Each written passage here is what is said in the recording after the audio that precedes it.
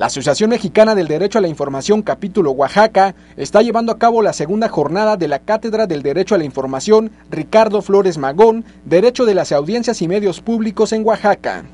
Dicha jornada tiene como objetivo reflexionar sobre la responsabilidad de los medios de comunicación en los procesos democráticos del país, así como el avance de los derechos informativos de la ciudadanía en la idea de garantizar la calidad y diversidad de los contenidos mediáticos. Hoy nos toca discutir eh, el trabajo de los medios públicos en, el estado de Oaxaca, ¿no?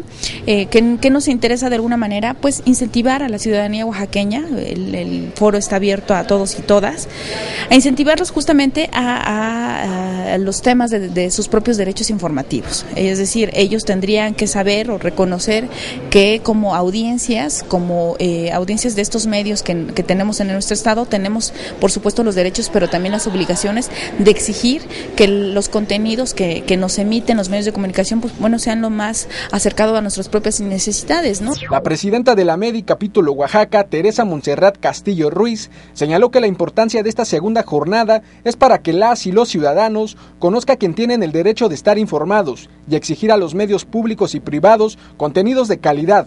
Y por su parte, los medios tienen la obligación de ofrecer y dar acceso a información verídica y de calidad.